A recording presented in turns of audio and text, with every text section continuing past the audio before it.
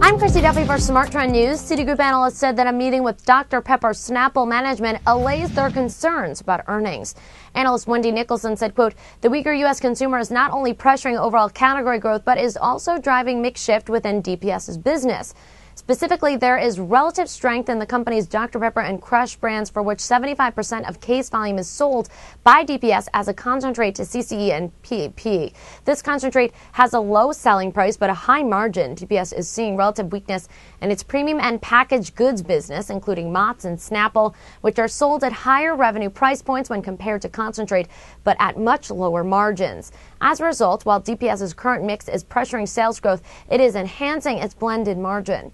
Therefore, while we acknowledge that there could be risk to our forecast for roughly 3% local currency sales growth in third quarter 2010, we remain confident in our forecast for 61 cents in EPS.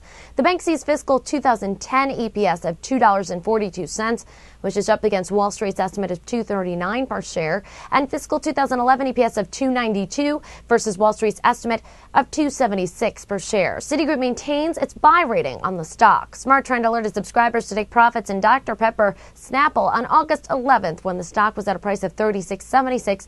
Since then, the stock has fallen by five and a third percent. We're now watching for any positive developments that could result in a new uptrend signal. I'm Christy Duffy for SmarTrend News. For more news and market analysis, make sure to subscribe to our YouTube channel. That's Trade the Trend.